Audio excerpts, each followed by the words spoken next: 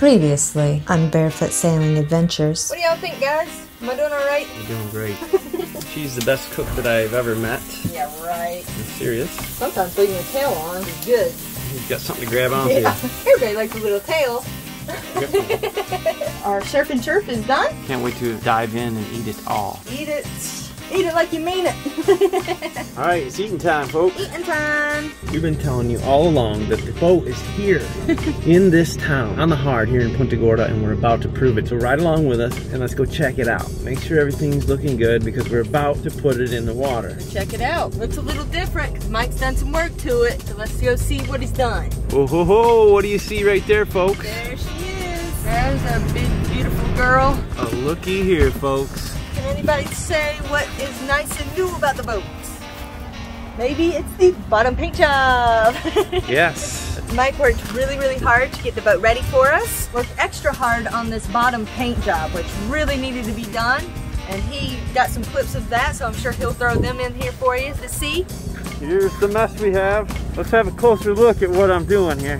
Here's the original water line down here. But with so much weight in the boat, the new water line is all the way up here. First time I did it, I got in a hurry, scuffed up the gel coat, painted right over it. Well, it didn't last but three months. So now I've got to take it all the way back down to the gel coat, do a barrier coat first, which is what I should have done to begin with. I knew it, but I was just hoping to be okay. I was wrong. So now it's time to do it right.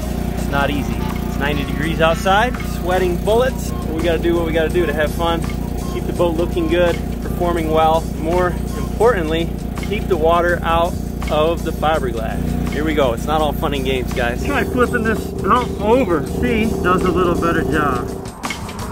Woo! See the next step. All right, folks. Now it's time to do some hand sanding around areas like this. Through hulls and places I couldn't get with the big sander. I Got to get down here to this spot here. Expose this short little white line here. That's where we're gonna do our two-part epoxy barrier coat to this upper portion here. Just a little bit of hand sanding and do the best we can around these areas. Then it's onto a solvent We'll clean that surface. Maybe I'll touch up the tape job too because I touched it a couple spots with the uh, sander. All right, looking better. We're gonna be a heck of a lot closer to getting back in the water. Whoo, hang with us. It won't be long now. Taping is not easy. If you pull on it too hard, it'll stretch. Once it stretches a little bit, it's not really straight anymore. It looks like a good start, so I'm just gonna take a chunk maybe that I can handle. All right, I like it better. Nice and straight.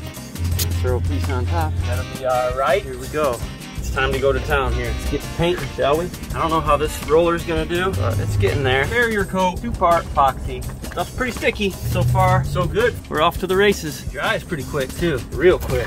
First coat is on there. Five more to go. Here goes. Anti-fouling paint. Isn't that pretty? For the secret sauce, I'm gonna add some cayenne pepper to the mix. It really helps give it some more performance. Maybe I should taste it, see if it's hot enough. It smells good. smells like paint. This is an ablative, copper-based paint. Getting closer. Two coats. A couple hours in between each coat. All right, we're gaining on it. At least it's looking a little better. There's already a good coat of paint on the very bottom.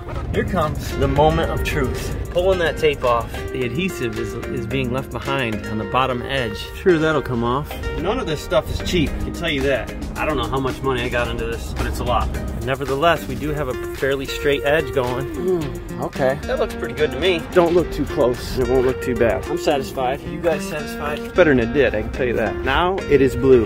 That's a wrap on the bottom paint. That was quite the job, and he worked really hard on that. Very dirty, messy, not something that you would necessarily want to do, but much needed. Because, Ow! you okay? Yeah, I got into some ants. Uh, continue on, I'll, I'll live. Focusing, you're, they're still crawling up at you, Are they?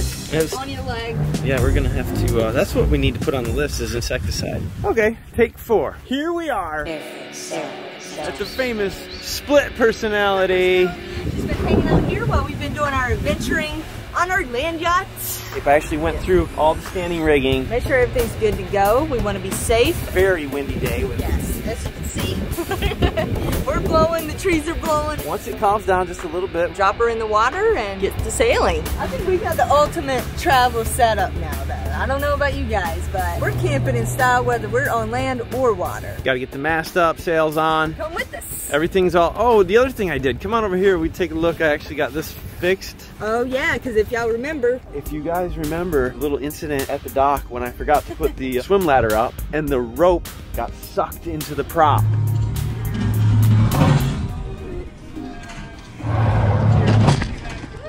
a weird noise. That was not good sounding, was it? Oh, you know what it was?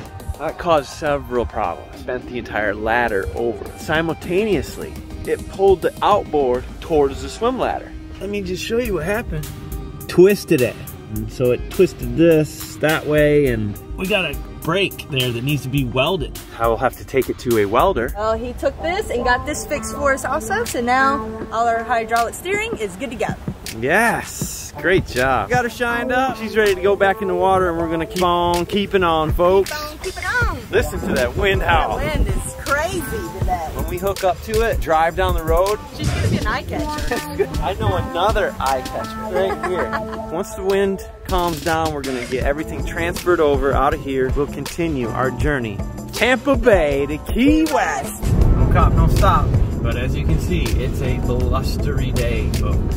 It's a pretty little strip. It really is. Beautiful palm trees lining the street. We're on the way to Ace Hardware, Ace Hardware in Punta Gorda, to get some insecticide because Mike got bit up by fire ants today. Got into some fire ants right there by the boat, and we decided to go right ahead. away, we better make a little pit stop at the Ace Hardware. I'll tell you, just take a look at this town and you'll see there are a lot of beautiful buildings and architecture. Oh. Yeah, very quaint. I would also call it eclectic. It has a variety of things to do and to see. There is a lot going on here. We're rolling right up in the business with the land yacht. This thing, although it's pretty huge, it does manage to get around. It travels nicely. Here. It fits. If it fits, it ships. So I guess we're gonna. Looks like they're gonna have a big live music.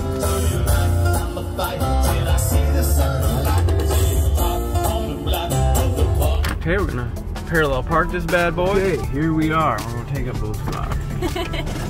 All right, let's let's walk through Punta Gorda and go pick up some insecticide. Insecticide. Killing some fire ants. Seeking revenge. It waged a little war against my feet. It's a real pretty little town, isn't it? Yeah, I didn't really expect it to be on like Main Street. Now this is an old school hardware shop right here. Check this out, guys. So much to see. Fasteners and Screws and nuts keep going into the back room, and that's where the insecticide is. Yeah, I think we got what we need.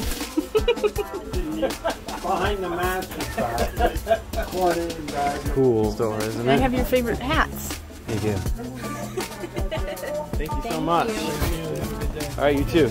Cool. Awesome. Hey, that went really well. That went really well. Now let's go apply this product to the facial area of the ants. right to their face. Right to their face. Can you see the land yacht from here? Absolutely. Yeah? All the way across town you can see that thing. On the road again. Mike's about to kill these things. Seek revenge. Get them. They're aggressive. That's it, folks. Okay, now we can carry on. There.